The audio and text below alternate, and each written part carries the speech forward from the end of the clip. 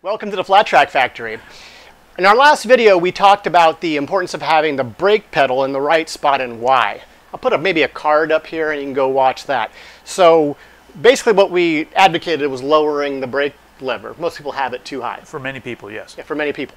So then what happens is people fiddle around with the brake pedal, bind things up, and the brakes lock up. And we have, again, uh, thanks for coming, Mike O'Neill, brake engineer extraordinaire, Welcome. Thank you.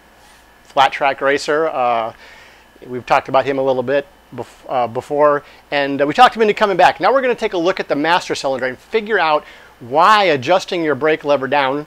Uh, well, we, we've already talked about why, but we're going to talk about how doing it wrong Right. can cause a huge problem. Right.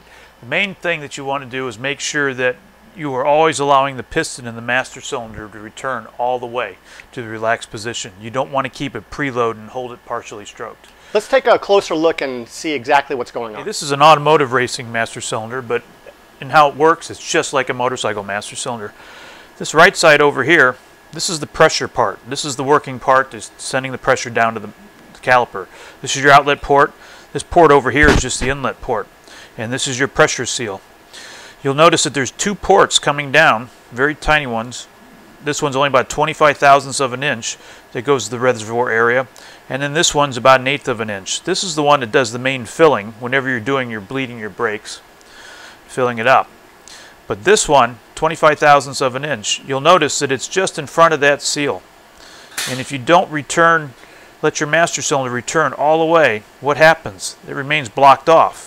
Got to make sure it pulls back. Why is that? The only reason that little tiny port is there is so that when your fluid gets hot and expands, it has somewhere it can go. It can expand and flow up into the reservoir. If this is blocked off, when it expands, where can it go?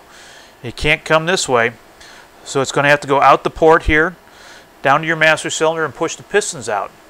And they're going to start dragging, which is going to create more heat, which is going to expand the fluid more, push the pistons out more until you lock up your it's a repeating cycle until you lock up your rear brakes.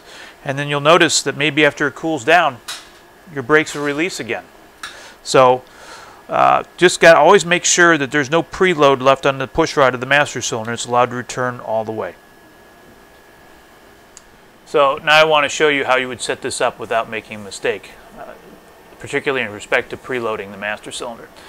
So if we wanted to adjust this pedal down, what we would do is loosen this jam nut and thread this push rod further down into this clevis. What we don't want to do is put something over here that limits where the pedal goes, how far it can return.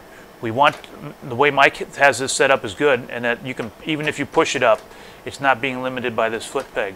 I've seen many times at the track, even at top level professional races, where they make an adjustment and in the way that they do it, either the foot peg is in the way or an exhaust header or something like that, and there's a preload held with keeping this partially stroked. Always got to make sure that this master cylinder is returning all the way. Once again, big thanks, Mike O'Neill. Certainly, glad to help.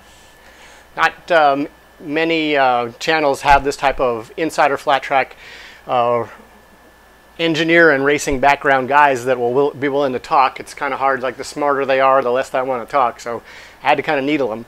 Um, put your questions and comments down below. You know what uh, what you guys want to know. Sometimes I'm not entirely up on, and I, I get a lot of ideas from your comments. So about now. As you know, YouTube is going to put up some videos uh, from the channel uh, in the back in the back catalog you, you might be interested in.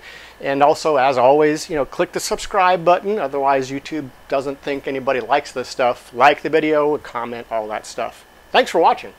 Keep it sideways.